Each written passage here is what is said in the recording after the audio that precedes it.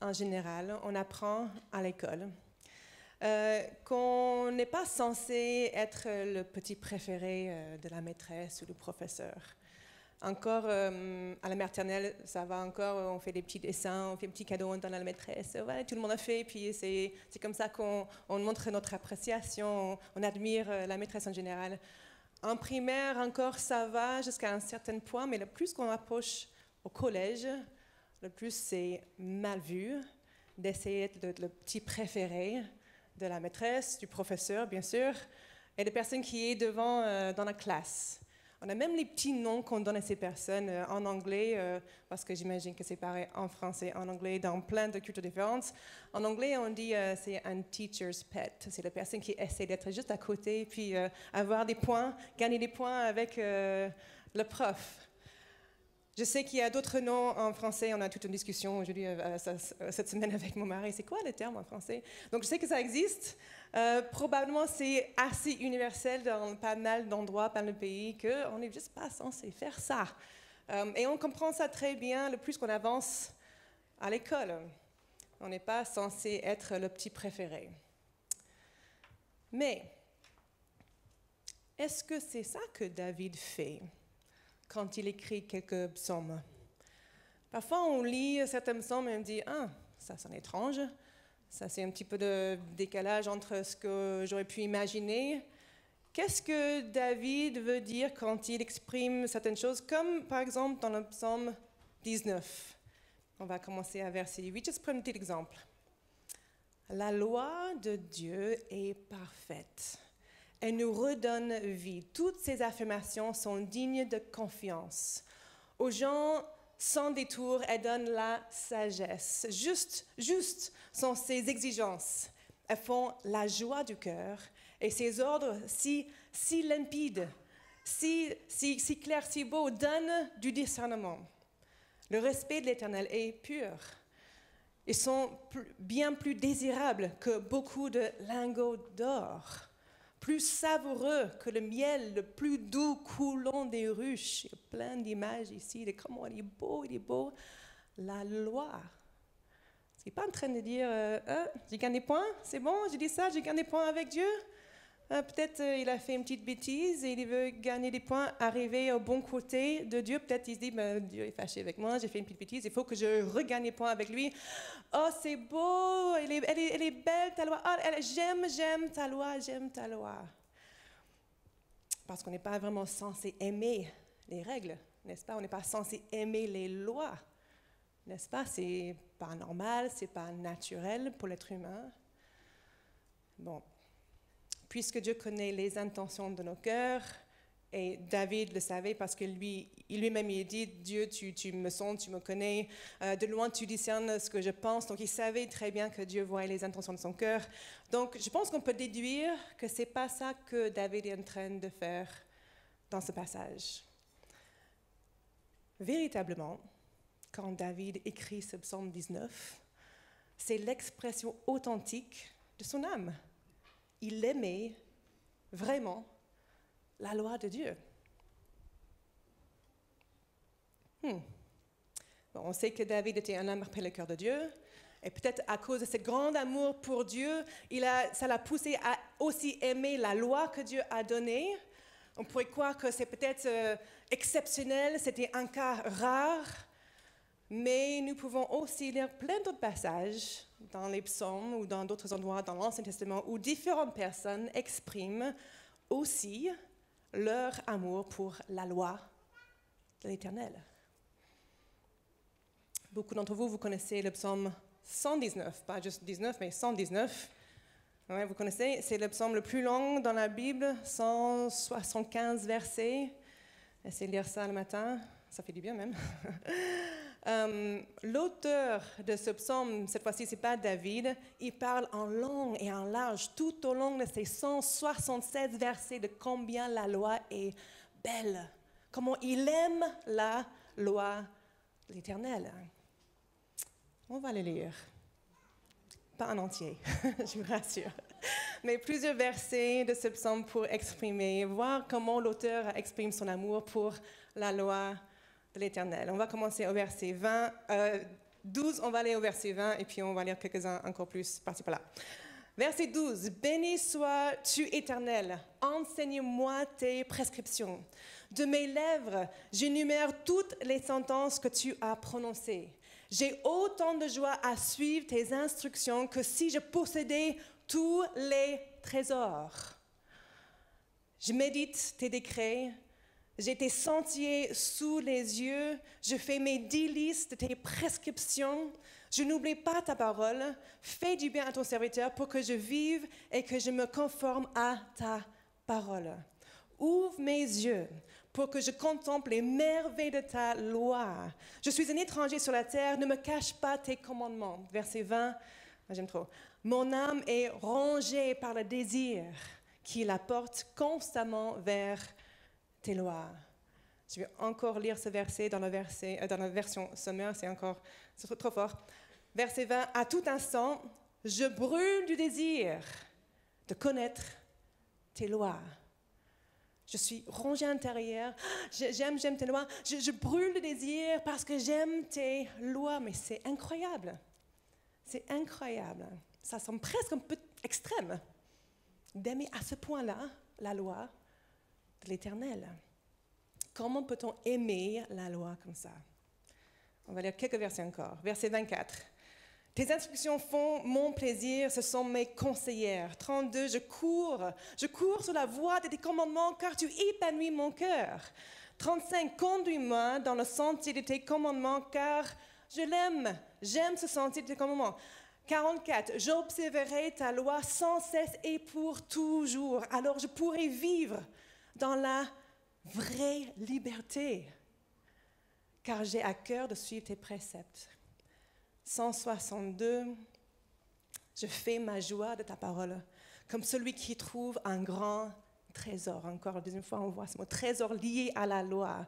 Mais je hais le mensonge, je le déteste. C'est ta loi que j'aime. Sept fois par jour, je redis tes louanges à cause de tes justes lois.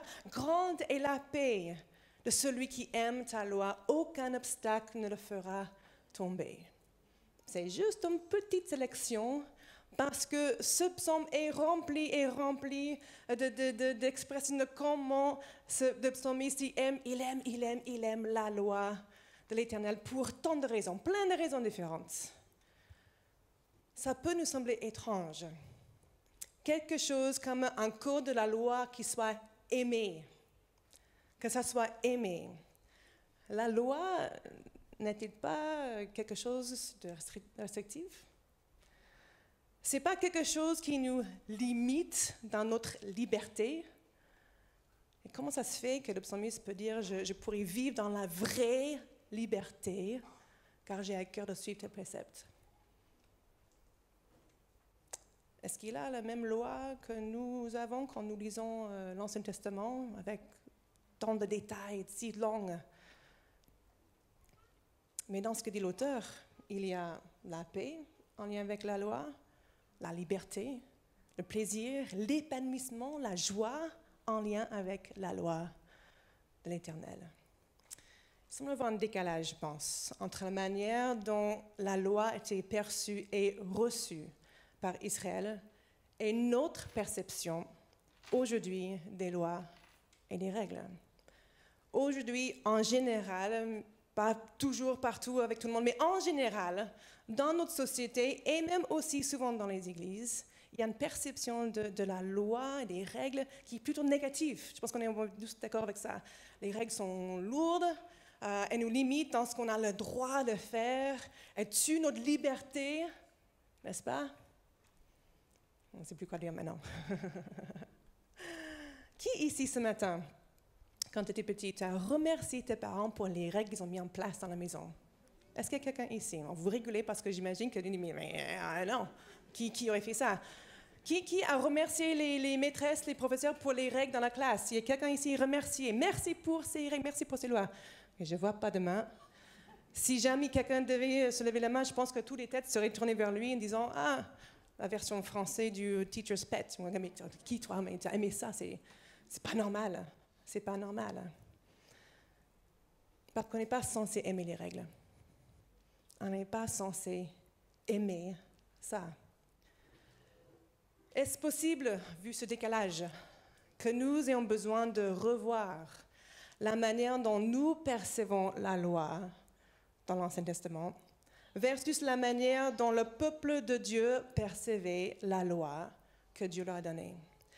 Et aussi la manière dont nous pouvons voir les, les règles qui peuvent être associées à notre foi aujourd'hui. Parfois, dans certains cours qu'on propose pour les adultes ici, soit une préparation de baptême ou d'autres cours dans le cadre de ELM, euh, Campus, petite pub, euh, et parfois même aussi juste dans les entretiens pastoraux, on peut avoir cette question, ou une question de ce style. En tant que chrétien, est-ce qu'on a le droit à... Non, non, non, non, non. Toutes sortes de variétés dans cette question. Et déjà, cette question révèle une perspective sur la vie spirituelle qui est focalisée sur les restrictions, comme si la foi en Jésus-Christ s'agit de ce que nous avons le droit de faire, de ce qu'on n'a pas le droit de faire, alors que Christ est venu nous donner la liberté et une vie en abondance. C'est la raison pour laquelle il est venu. Quand Dieu a donné sa loi à son peuple, c'était quoi l'objectif? Pourquoi Dieu a donné ces lois? Si on devait demander à Dieu, Dieu, pourquoi tu as donné ça et ça et ça comme loi Qu'est-ce que Dieu dirait? Et je pense qu'on peut faire ça. Parfois, on peut poser des questions et dans la prière et voir ce que Dieu nous, nous dit dans nos cœurs. On va lire quelques versets qui parlent de la raison d'être de la loi, quand Moïse a parlé aux Israélites. On va commencer en Deutéronome 4, 39 à 40. Reconnaissez, c'est Moïse qui parle, reconnaissez donc aujourd'hui, ou reconnaît donc aujourd'hui et garde présent à l'esprit que l'Éternel seul est Dieu en haut dans le ciel et en bas sur la terre, et qu'il n'y a pas d'autre. Il n'y en a pas d'autre, c'est un seul. Obéis à ces lois et à ces commandements que je te transmets aujourd'hui afin que, voilà la raison, afin que tu sois heureux. Ah, vous lisez bien, heureux. Hmm, ok. Toi et tes enfants, et que tu vives de nombreux jours dans le pays que l'Éternel ton Dieu te donne pour toujours. Ok, le bonheur, longue vie, euh, la joie, Deutéronome 5, 28 29 et 32, c'est encore Moïse qui parle. L'Éternel entendit vos paroles pendant que vous me parliez. Et il me dit, j'ai entendu ce que, ce que t'a dit ce peuple et je l'approuve pleinement. Si seulement il pouvait garder ces mêmes dispositions à me révérer et à suivre tous les jours tous mes commandements, afin que, que et leurs descendants soient heureux pour toujours. Verset 33, suivez exactement le chemin que l'Éternel votre Dieu vous a prescrit et vous vivrez heureux et vous jouirez de longue vie dans le pays dont vous allez prendre possession. C'est la même chose. Longue vie, bonheur, les générations après les générations.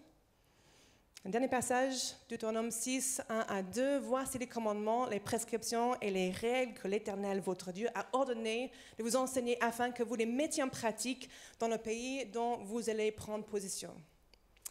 Afin que tu craignes l'Éternel, ton Dieu, en respectant tous les jours de ta vie, toi ainsi que ton fils, ton petit-fils, toutes tes prescriptions, toutes tes prescriptions et tous ces commandements que je te donne afin que tu vives longtemps. Et encore, j'aurais pu rajouter tout plein, de passages. Regardez que j'ai éliminé plein de passages ce matin parce que c'était trop long. Plein de passages qui parlent de ce bonheur qui est l'objectif de Dieu à l'obéissance de son peuple. Le bonheur. Il est fort probable quand je lis ces passages, en parlant de l'obéissance à ces lois, ces règles, les commandements, les prescriptions, que, quelque chose se passe à l'intérieur de toi. Peut-être euh, une de personnes ici, peut-être une de personnes euh, qui regarde en ligne. Je ne sais pas ce qui se passe quand je lis loi, commandement, euh, prescription, obéissance, obéissance. Mais c'est possible que, pour quelques personnes, il y a un truc qui fait c'est exactement ça que je ne veux pas. Obéir à des règles, quelqu'un qui me dit ce que je dois faire. Si Dieu est comme ça, si c'est ça la foi chrétienne, j'en veux pas. J'en veux pas. Et à ça, je dis, il n'y a aucun souci. La foi chrétienne n'est pas sur la base de plein de règles à suivre et plein d'interdictions. Au contraire, et on va revenir à ça à la fin. C'est quoi la différence du coup? C'est quoi la différence euh, entre le peuple juif qui aimait la loi et beaucoup de monde aujourd'hui qui constate un si fort dégoût quand on lit ce genre de verset, comme s'il y a forcément un décalage entre le fait de recevoir des lois, suivre les lois, obéir et le fait d'être heureux. Comme si les deux n'allaient pas ensemble. La loi a été donnée aux Israélites au moment où ils allaient entrer dans le pays que Dieu leur a promis par leur ancêtre Abraham. Quand Dieu a donné à Moïse la loi, c'est la première fois que la nation a reçu, la nation entière a reçu une code de loi à suivre. Dans la loi, il y avait trois types de prescriptions. Il y avait des lois pour savoir se comporter euh, vis-à-vis de Dieu, des lois pour savoir comment se comporter entre eux, dans leur communauté, entre Israélites, et aussi des lois pour savoir comment se comporter vis-à-vis des autres nations autour surtout vis-à-vis de l'idolâtrie qui se pratiquait partout, les pratiques d'injustice et même la décadence dans les nations autour. Comment faire? Donc Dieu, il voit son peuple sur le point d'entrer, enfin, dans ce pays qu'il a promis il y a plusieurs siècles auparavant, et il leur dit, je sais ce qui vous attend. Vous êtes entrés dans ce nouveau pays, et ces préceptes seront une très grande aide pour vous. Vous allez rencontrer pas mal de défis sur plusieurs fronts. Et dans cette nouvelle phase de votre vie, en tant que peuple, en tant que nation, ces lois seront un guide pour vous sur tous ces fronts. Si vous suivez ces commandements, tout ira bien pour vous. Vous allez vivre en paix entre vous en paix entre vous et les, les peuples autour et entre vous et moi. Dieu a été très clair quand il a dit à Israël que le bonheur, la paix, la longue vie sera des résultats à leur obéissance. Il a aussi dit que la réussite serait une conséquence de leur choix de suivre ces préceptes. On va lire deux passages qui parlent de ça. Deutéronome 30, L'Éternel, ton Dieu, te comblera de bien en faisant prospérer tout le travail de tes mains, tes enfants, tes portées de tes, troupeaux et le produit de ton sol. En effet, l'Éternel, l'Éternel prendra de nouveau plaisir à ton bonheur, tout comme il prenait plaisir à celui de tes ancêtres lorsque tu obéiras à l'Éternel ton Dieu en respectant les commandements, les prescriptions écrites dans ce livre de la loi lorsque tu reviendras à l'Éternel, ton Dieu, de tout ton cœur, de toute ton âme. Est-ce que tu savais que Dieu prend plaisir dans ton bonheur? Il est heureux quand tu es heureux. Il est heureux quand tu es épanoui en lui. Juste avant que Josué conduise le peuple à entrer dans le pays promis, Dieu l'a encouragé avec ces paroles, Josué 1, 7 à 8, seulement fortifie-toi et, bon courage, en te conformant fidélité à toute la loi que Moïse, mon serviteur, t'a prescrite. Ne t'en écarte ni à droite ni à gauche afin de réussir où que tu ailles. Pour réussir où que tu ailles, que ce livre de la loi ne s'éloigne pas de toi. Médite-le jour et nuit pour agir avec fidélité conformément à tout ce qui est écrit, car c'est alors que tu auras du succès dans tes entreprises c'est alors que tu réussiras. La réussite, le bonheur, une longue vie, tout ça était des conséquences naturelles de leur obéissance à la loi. Pourquoi le peuple de Dieu aimait les instructions et les règles que Dieu a proposées pour eux, il est posé dans la loi, c'est parce que pour Israël, la loi était une guide pour connaître le moyen d'être heureux, de vivre heureux. Et ça donne envie. Quand on dit Ah, tu seras heureux, ah, ah d'accord, d'accord. Je pense que parfois, on a cette perception que Dieu donnera le bonheur ou la réussite comme une récompense à notre obéissance. comme si Dieu devait nous soudoyer pour qu'on l'obéisse. Vous voulez être heureux? Alors obéissez-moi. Vous voulez réussir Si vous voulez réussir, si vous voulez prospérer, vous devez d'abord m'obéir. Tout ce que j'ai prescrit. Si vous faites cela, je ferai en sorte à ce que vous réussissez dans vos entreprises. Faites d'abord ce que je vous ai dit, et puis je ferai pour vous ce que vous voulez. Et avec un peu cette idée qu'on peut tirer comme conclusion après, ah, si j'obéis à Dieu, il doit me bénir, il doit me rendre heureux, il doit me faire réussir. Comme si Dieu tenait la carotte devant nous. Tu veux le bonheur? Conforme-toi d'abord à mes préceptes.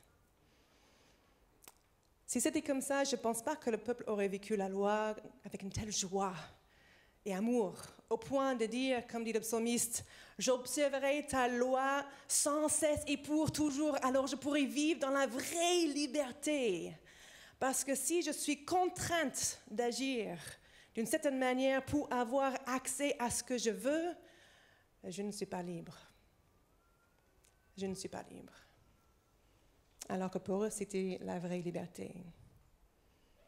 Voici la carotte. Tu veux la carotte? Comment on fait pour nos animaux? Tu veux le biscuit? Assis? Ok, très bien. Tu peux avoir ton biscuit parce que tu l'as mérité. Tu l'as mérité. Si c'est ça, le bonheur, la réussite, la longue vie sont des choses que nous devons mériter. On doit travailler pour pouvoir les avoir et on aura l'impression de devoir toujours travailler, travailler, travailler encore et encore et encore pour toujours mériter ces choses. Et une fois qu'on les a, on doit toujours travailler, travailler pour ne pas les perdre. C'est épuisant. C'est épuisant. Et quel standard élevé la loi pour pouvoir, pour devoir mériter quelque chose que tout le monde aspire à vivre? Je crois que c'est très très loin de ce que la loi était censée être pour le peuple de Dieu. Dieu, puisqu'il connaît toutes choses, il savait ce qui était devant son peuple alors qu'ils étaient en train, ils étaient sur le point d'entrer dans le pays qu'il avait en réserve pour eux. Dieu voyait en avance les défis qui les attendaient, les défis d'organisation entre eux, les défis de gouvernance entre eux, les menaces de l'extérieur et dans son intelligence parfaite, il a donné à son peuple une loi pour cadre, pour les instruire dans toutes les circonstances dans lesquelles ils allaient se retrouver. La bonheur, la réussite, la longue vie seraient des conséquences naturelles à leur obéissance à la loi, et pas des récompenses qu'ils devaient essayer de mériter par leur bon comportement.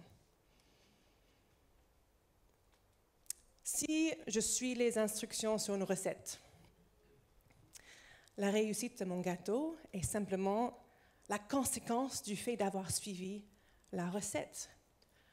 Même si on peut suivre une recette et avoir un mauvais gâteau, mais c'est parce qu'on n'a pas vraiment suivi bien la, recette.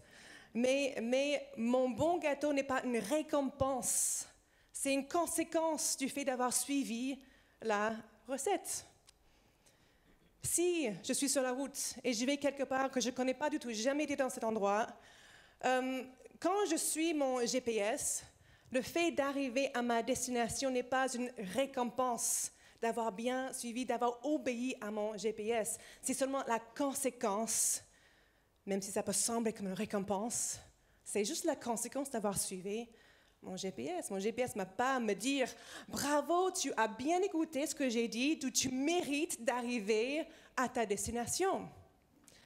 Tout comme mon gâteau ne va pas me dire bravo, tu as bien suivi la recette, tu mérites d'avoir un bon gâteau.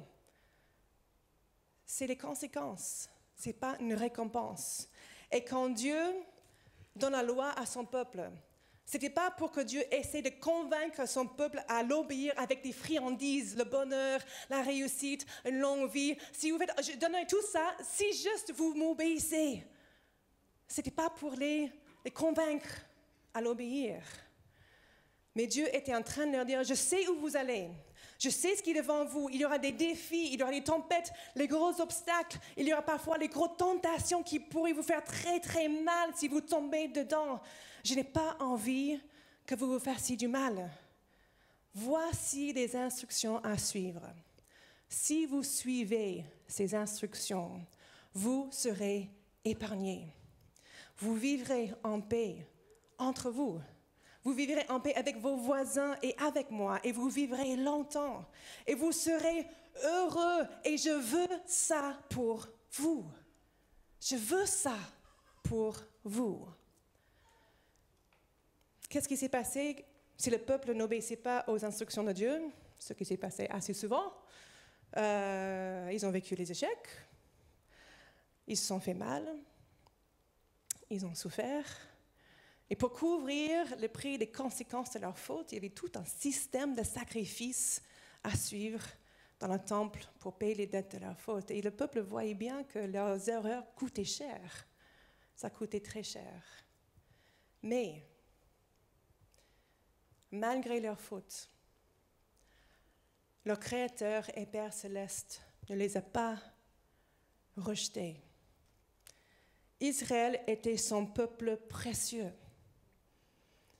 Il avait fait alliance avec eux et la place de chacun dans le peuple d'Israël n'était pas remise en cause parce qu'il n'arrivait pas à faire tout ce qu'il fallait en tout point.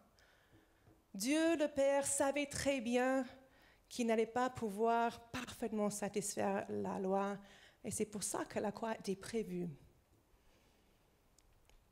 Mais malgré leurs péchés, Israël restait toujours le peuple choisi de Dieu même dans leur incapacité d'obéir parfaitement la loi. Dernièrement, j'ai parlé avec euh, une de mes filles juste après une grosse crise où je me suis fortement fâchée avec elle.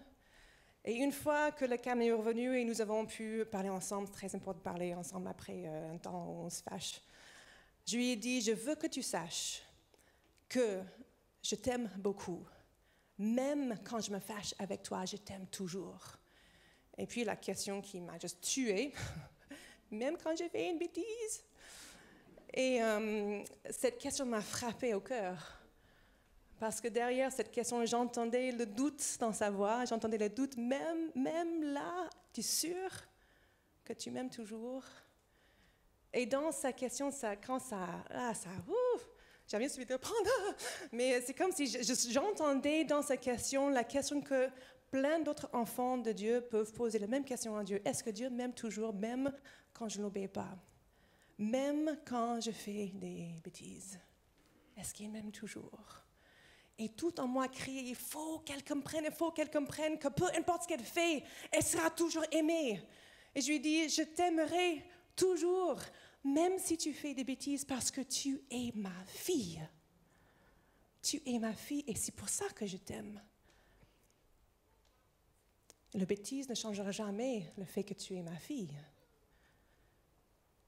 Et pour Israël, leur identité en tant qu'Israélites ne dépendait pas de leur obéissance. Ce peuple avait déjà la faveur de Dieu puisqu'ils ont été choisis pour être son peuple. Et par ce peuple, Dieu avait prévu de bénir toute la terre. Pour Israël, leur incapacité de suivre la loi parfaitement n'a en aucun cas été une remise en cause de la faveur de Dieu, ni dans leur identité en tant qu'enfants de Dieu. La loi était un guide pour leur vie dans le pays où Dieu les a amenés. Le bonheur et la réussite étaient étroitement liés à cette loi, mais pas leur identité, ni la faveur de Dieu qu'ils avaient donnée en tant que descendants d'Abraham. Ça restait intact. Peut-être c'est pour ça qu'ils ont pu aimer la loi. L'obéissance était essentielle pour leur bonheur, mais leur appartenance à Dieu et leur identité, leur, appartenance dans la famille de Dieu n'en dépendait pas. La loi était vraiment simplement pour qu'ils puissent savoir vivre et persévérer dans la paix, cultiver le bonheur. Et si c'est ça l'objectif de la loi, bah alors, euh, bien sûr, c'est à aimer plus que tous les trésors. Plus que tous les trésors. Parce que c'est vraiment pour notre bonheur. Pour nous, du coup, pour nous en tant que chrétiens, qu'est-ce qui a changé? Certes, on n'est plus sous la loi et je suis reconnaissante parce que c'est quand même très particulier. Si on voulait vivre selon ces mêmes préceptes aujourd'hui à notre époque, et même une bonne partie euh, de ces lois ne peuvent même plus être appliquées à nos jours. Mais je veux dire, en ce qui concerne les, lois chrétiennes, entre guillemets, je vais dire comme ça, parce qu'il y a vraiment cette idée qui persiste dans notre culture que la vie chrétienne est remplie de restrictions. Pourquoi cette notion que nous avons que nous, on peut rencontrer parfois, on peut dire souvent, si je ne suis pas les règles, Dieu ne va plus m'aimer. Ou si je fais trop de bêtises, Dieu me rejettera. Ou à quel moment est-ce que je suis allé trop loin et il ne me considère plus comme son enfant? Quand est-ce que ça m'arrivera? Cette notion n'a pas existé chez le peuple juif. Cette notion n'existe même pas parmi les êtres humains envers leurs enfants, alors que notre amour est limité, imparfait. Donc comment pouvons-nous entretenir cette idée vis-à-vis de notre Père céleste, qui a un amour bien plus parfait, bien plus éternel, bien plus sans condition que nous? Combien de croyants vivent leur foi avec une notion de règle comme le point de départ le point de base dans la manière dont ils mènent leur vie avec Christ, dans la crainte de faire toujours quelque chose, toujours de ne pas faire quelque chose contre la volonté de Dieu, et que dans la peur que Dieu s'éloigne d'eux à cause de leurs bêtises. Ou combien de personnes fuient la foi de Jésus-Christ à partir d'un certain âge, après avoir grandi dans l'Église, parce qu'ils n'en peuvent plus des règles? Ou combien de personnes ne s'approcheraient jamais à Christ, soi-disant parce qu'ils ont eu trop de restrictions?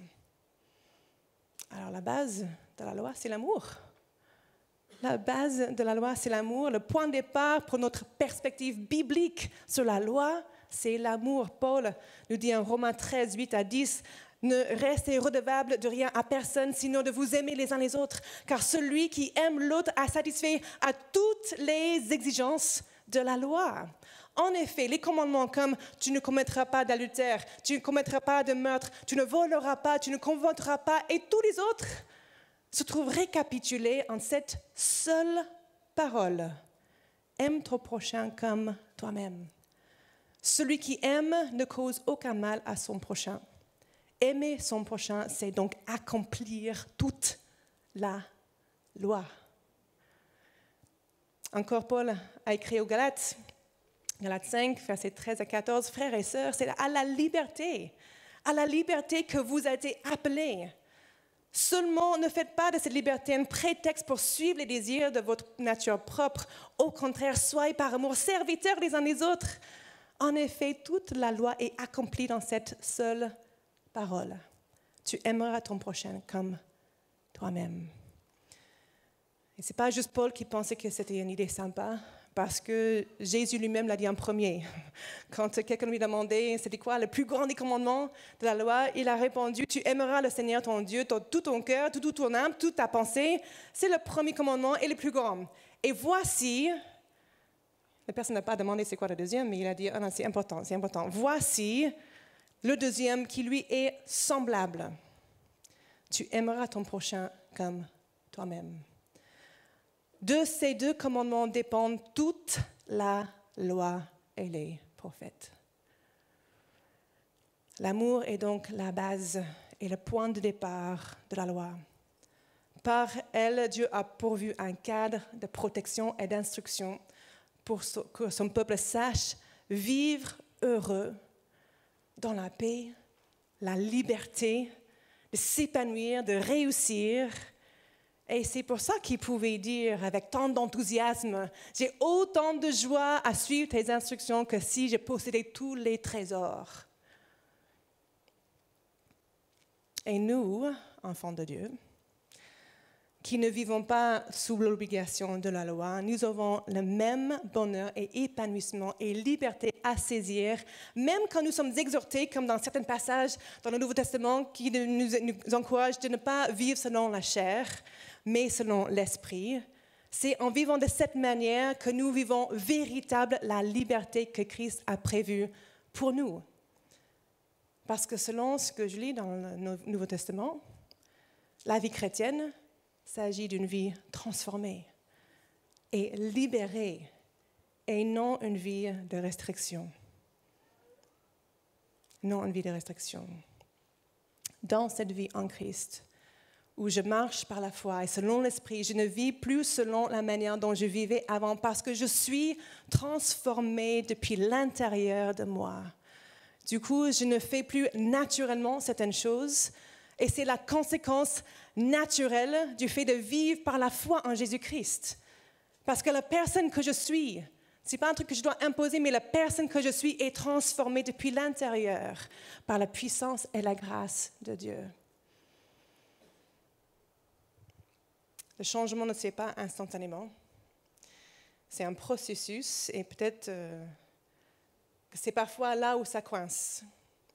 Le jugement les uns sur les autres, des remarques ou des paroles parfois indélicates, style T'as pas le droit faire ça, t'es un chrétien quand même. Ou notre propre frustration avec nous-mêmes, de lutter encore avec certaines choses qu'on voudrait bien voir derrière nous. Tout ça peut donner l'impression de lutter contre nous-mêmes pour vivre comme il faut. La chair est toujours là.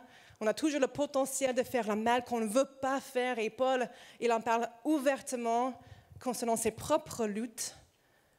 Et pour nous, c'est pareil. Mais nos luttes et nos erreurs ne remettent pas en cause notre identité d'enfant de Dieu, ni notre appartenance dans sa famille. Je vais demander aux musiciens de venir. Je vais clôturer avec une citation d'un pasteur, John Piper, un pasteur théologien, auteur aux États-Unis. Il a, écrit ceci Fondamentalement, l'alliance donnée à Moïse ne diffère pas de celle donnée à Abraham, ni à la nouvelle alliance. En effet, l'obéissance sous ces trois alliances répond aux mêmes raisons non pour gagner la faveur de Dieu, mais car nous dépendons déjà de sa grâce et sommes confiants que ses commandements produisent une joie pleine et éternelle. La raison de notre obéissance n'est pas pour gagner la faveur de Dieu, puisque cette faveur a été déjà donnée à la croix. Et nous vivons dans cette faveur par le simple fait d'être son enfant, d'appartenir à lui. Et ça ne sera pas enlevé à cause de quelques erreurs en chemin. Mais la raison de notre obéissance est puisque nous dépendons déjà de sa grâce. Et puisque nous faisons confiance que ses commandements produisent en nous une joie pleine et éternelle. Je vais prier pour conclure. J'ai prié spécifiquement pour que nous puissions avoir une réelle confiance dans la bonté de Dieu à notre égard. Que si parfois ça coince entre mon idée de ce qui est bon pour moi, mon idée de ce qui me rendra heureux, et l'idée que Dieu a pour moi de ce qui me rendra heureux, les choses qu'il veut pour moi, que j'aurai la foi de faire confiance dans la bonté de Dieu à mon égard. Et que cette confiance m'amène à lui faire confiance quand il dit ça, ça c'est bon pour toi, ça c'est pas bon pour toi. Je veux que tu sois heureux. Je veux que tu sois heureux.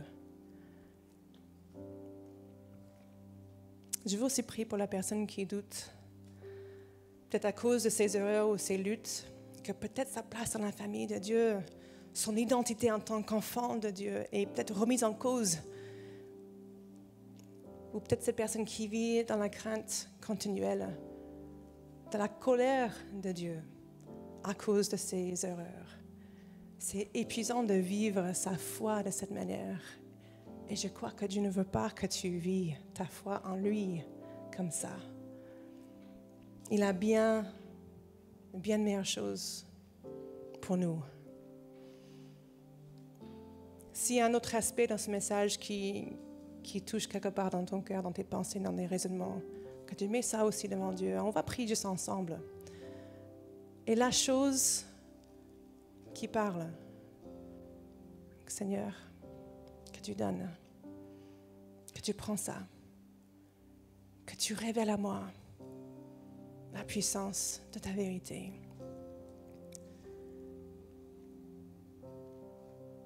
Seigneur, je prie maintenant pour que nous puissions avoir une pleine confiance dans ta bonté.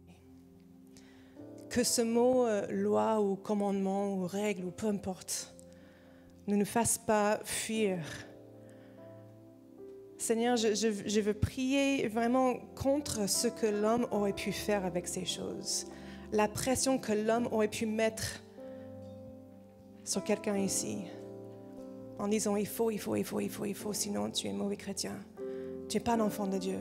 Il faut ci, il faut ça, il faut ça. Seigneur, que cet enseignement maintenant soit juste essuyé, enlevé, et que ce que ta parole nous dit sera cette parole qui perce, qui instruit, qui amène cette révélation de qui tu es et la manière, le moyen dont tu prends plaisir à nous voir épanouis. C'est ce que tu veux pour nous, Seigneur. Je prie que tu parles à chaque cœur selon son besoin, selon ce qui bat maintenant dans son cœur. Et que tu révèles, révèles, révèles, révèles ta vérité, révèle ton cœur, révèle ton amour, ta grâce, ton pardon, selon le besoin, Seigneur. Révèle, révèle, révèle. On se met devant toi ce matin et on prie, Seigneur, parle à ton peuple. Parle à ton peuple. Au nom de Jésus. On va chanter un, chant et pendant ce chant, je vais vous demander de, vous lever et on va rester attentive à ce que Dieu va parler à nos cœurs, à ce que qu'est-ce qu'il veut me dire ce matin, comment est-ce qu'il veut se révéler à moi spécifiquement ce matin, selon mon besoin, selon ma perspective de qui il est, selon les choses qu'il veut toucher dans ma vie, selon les choses qu'il veut révéler à mon âme. Laissez Dieu parler pendant qu'on chante ce chant ce matin.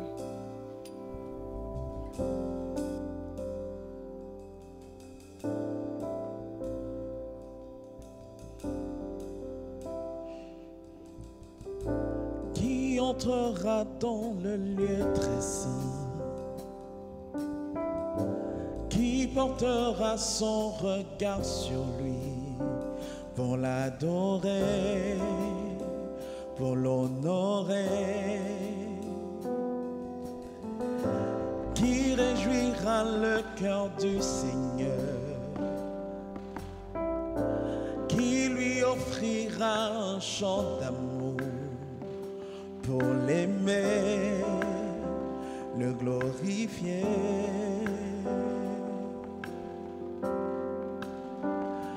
Reçois favorablement les paroles de ma bouche, les sentiments de mon cœur. Accepte l'offrande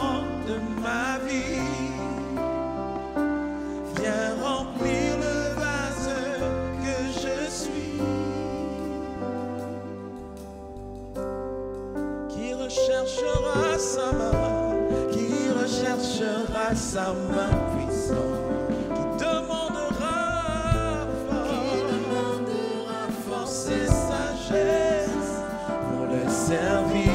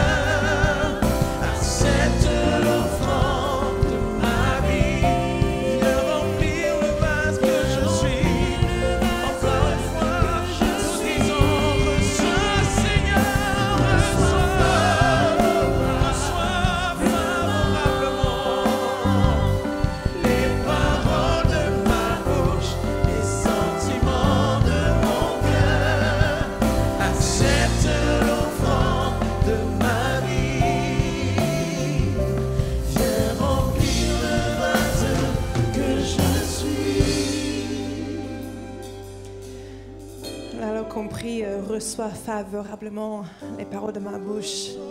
Sachez avec confiance que Dieu reçoit. Dieu reçoit les paroles de vos bouches envers lui. Dieu entend ton cœur. Il voit ton cœur.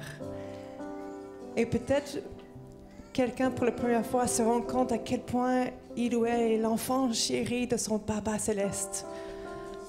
À quel point il m'aime. À quel point il m'aime. À quel point il m'abandonnerait jamais. Peu importe mes luttes, peu importe la manière dont je me sens indigne, il me rattrape chaque fois. Il me lâchera pas. Il me lâchera pas et il reçoit les paroles de ta bouche. Il reçoit les expressions de ton cœur qui dit Me voici comme je suis, désolé pour être comme ça, mais j'ai confiance que tu m'aimes. Tu m'aimes malgré, malgré, malgré tout ça.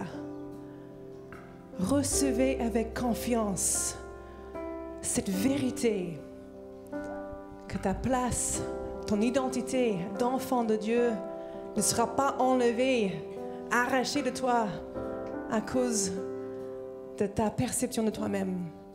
Dieu nous voit autrement. Dieu nous voit autrement. Seigneur, je prie que tu continues à parler lorsqu'on va clôturer ici ce matin, lorsqu'on va rentrer chez nous, lorsqu'on va discuter entre nous, lorsqu'on va aller avancer dans la semaine, même lorsqu'on va rencontrer les défis, même lorsqu'on va faire les erreurs cette semaine, qu'on puisse saisir pleinement encore ce bonheur que tu veux pour nous lorsqu'on on- on- on te suit par la foi, on te laisse transformer nos cœurs, on accepte ton pardon humblement et on avance, on continue, Seigneur. Que cette parole descende dans les cœurs, dans les vies, dans les âmes, pour prendre naissance et porter un fruit de maturité en chacun. Au nom de Jésus. Au nom de Jésus. Amen. Amen, amen. amen. N'arrêtez pas.